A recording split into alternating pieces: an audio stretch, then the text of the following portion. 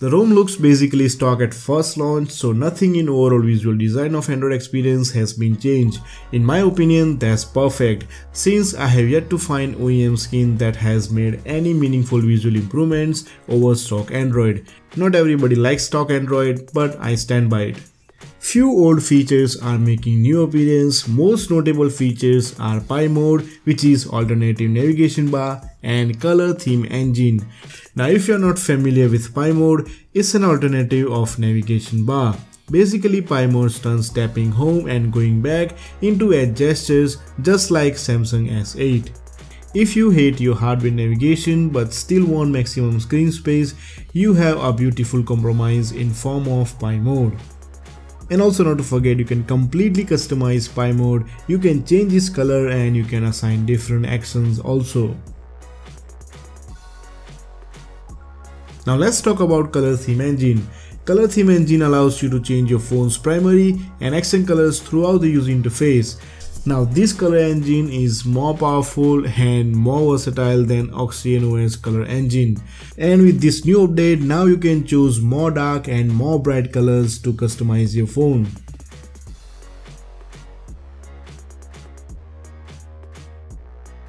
And as I explained in my OnePlus One and OnePlus 3 review, camera in this ROM is really unique, images looks fantastic with bit less blown out in high contrast and much improved low light performance.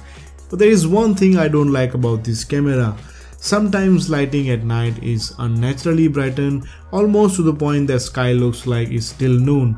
Apart from that, the camera is super fast, quick to autofocus, it can shoot in 4K UHD and also slow motion at 120 FPS. Have a look at some photos and a video sample I took with this camera.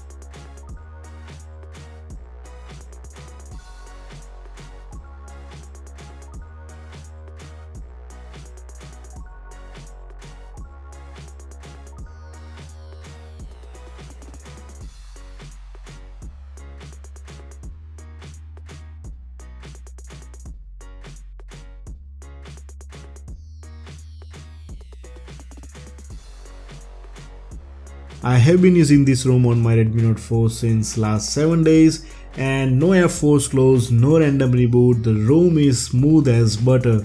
The RAM management is outstanding, Bluetooth is working, Wi-Fi is working, fingerprint is working, the charging speed is faster than other ROMs. I can charge my Redmi Note 4 from 0 to 100% in less than 2 hours.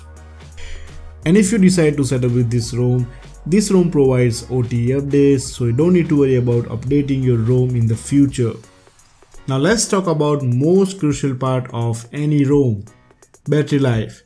Now Redmi Note 4 already gives me good battery life but with this ROM it gave me 8 hours of screen on time and standby time on this ROM is more than 3 days.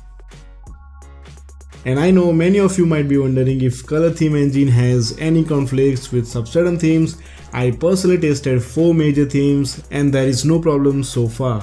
So beautiful boot animation, outstanding features, substratum theme engine, color theme engine with Pie mode, I'm going to give this ROM 4.7 out of 5.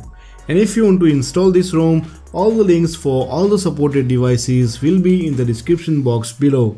Also you can watch this ROM's review for OnePlus One and OnePlus 3 or 3T all the video links will be also in the description box below. So that's it for today. Don't forget to like this video if you appreciate my work on this channel. Subscribe if you are new because I make this kind of videos almost every day. This is Naz signing out and I will see you next time.